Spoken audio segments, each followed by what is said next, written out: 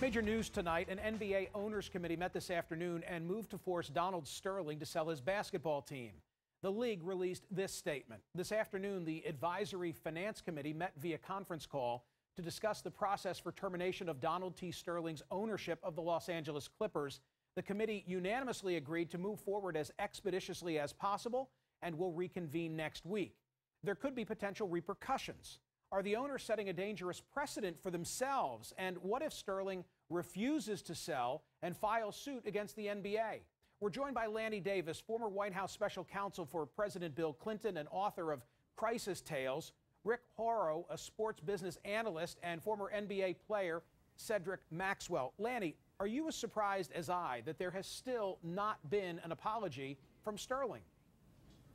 Well, it's amazing to me, unless his goal in life is to um, lose credibility with friends, colleagues, and doesn't care about his personal reputation. And there are people who get a point in life who really don't care. Uh, it looks that that is the case. If he did care, a long time ago, he would have uh, uh, apologized and put the team up for sale himself and indicated that he doesn't deserve to own the team, given uh, what he clearly uh, feels about uh, African Americans, which is racism.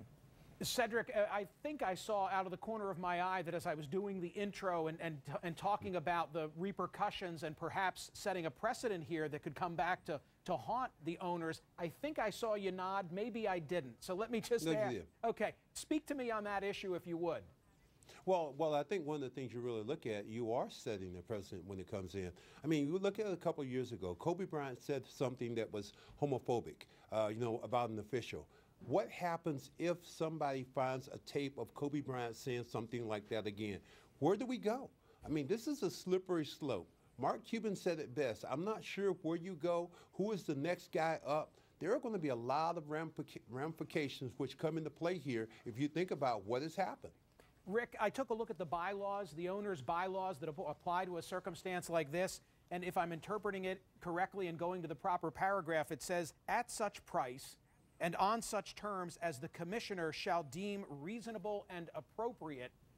That would put a great deal of power in the hands of the NBA commissioner because I've been wondering how do you facilitate the sale? And I guess my question for you is is it disadvantage is it to the disadvantage of Sterling the longer that this goes off the clock because the franchise will be devalued.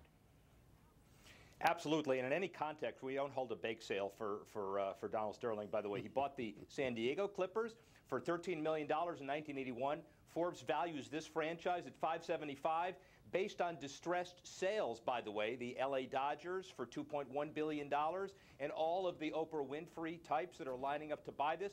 Here's 20 bucks, by the way, Michael. I'm officially in the race. I want to buy that franchise as well. well, everybody else is in. Is, Why not you? Eh, eh, eh, yeah. Well, I, and I am in now. But the bottom line is the reduction of brand value continues. Sponsors flee, players flee. Doc Rivers doesn't coach. The longer the thing gets tarnished, he may litigate, but it's to his own personal financial detriment and certainly to the owners as well. Hey, Lanny Davis, to Cedric Maxwell's point, I want to address something to you because I know in the past uh, on that illustrious list of your clients was one Daniel Snyder, the owner of the Redskins, and I know you provided him with advice previously. Harry Reid, on the floor of the Senate, has now dragged or attempted to drag Daniel Snyder into this conversation. I think that's precisely what Cedric was talking about. Is that appropriate, Lanny Davis? Well, first of all, with all due respect to Senator Reid, he's just flat out factually wrong. There isn't a racist, bigoted bone in Dan Snyder's body, and nor has he ever indicated prejudice towards any group. The debate about whether the Washington Redskins is a racist name is a reasonable debate based upon people's point of view. There are many Native Americans that are proud to say Hail to the Redskins and sing that song at the stadium, just as I have been. But it's an 81 year old name, and to compare the debate on that name and respect for those who are offended by it to the man uh, that is a racist and overtly over the years has been a racist. Why it took so long for the NBA to catch up to a man who discriminated against people on the basis of race in the housing uh, marketplace. So there's no comparison. Senator Reid is really, I think, uh, unfairly and inaccurately making that analogy. I want to bring in Arnie Fielkow, the CEO of the National Basketball Retired Players Association, who's been involved in discussions about the Sterling situation. What about this idea of precedent? Has Silver started one in your view? Well, I think the commissioner has taken great steps here. He's uh, shown great leadership. I thought the decisions and uh, the position that he announced on Tuesday was absolutely correct. Um, you know, he he was responding to a terrible situation uh, of bigotry and hatred, and I thought the league's actions so far have been outstanding. I, one step further today with the Advisory and Finance Committee. Eventually, this will make its way to the Board of Governors. But, uh, you know, I'm really proud of how all of the basketball family has come together uh, for the good, whether it be the, the players, the union, the league, the retired players. This is one family, and we've all been together on the right side. Rick, the, uh, the issue of where we go from here and the forced sale of the team, the lawyer in me recognizes that to the extent that franchise is diminished by this process, Sterling can turn around and, and try and try and lay that off on the NBA and say, you know, it was a $500 million franchise that now is worth a rock bottom of 200 million or whatever the data may say. And the lawyer in me says that he probably caused a lot of that himself. When the NBA looks back historically, and when history judges this, maybe even four months from now, they may get a billion dollar asset sale. The Bucks just sold for 550. Why not a billion here? And every time the names are lined up to buy, the price goes up. The players, as we just heard, are un- unanimously behind this. An unprecedented show of solidarity and a significant decision by a commissioner who's only been on board for two months, although been in the shadows of David Stern for a while. The international globalization of the NBA, 215 countries, now looking like a league of diversity, not a league of racism. So I would say four months from now, history is kind to this process.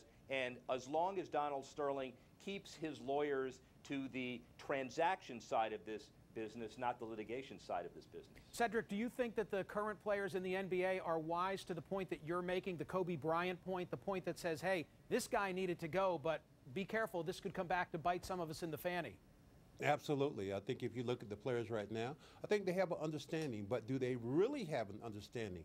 At the end of the day, everybody is on board right now for scrutiny. Players, owners, everybody. So now you're looking at how are you going to judge all this? If you're an official of a basketball game, are we talking about language right now? You have enough right now judging the NBA game. Now you have officials looking at language which is said in football, basketball. So the slippery slope is there. How are you going to control this thing to me? I am not sure. But all the players right now have lined up all the older players have lined up and they are following what the new commissioner has laid out, and I love it. Arnie Fielkow, Cedric, as well as Lanny Davis and Rick Horrow, thank you so much.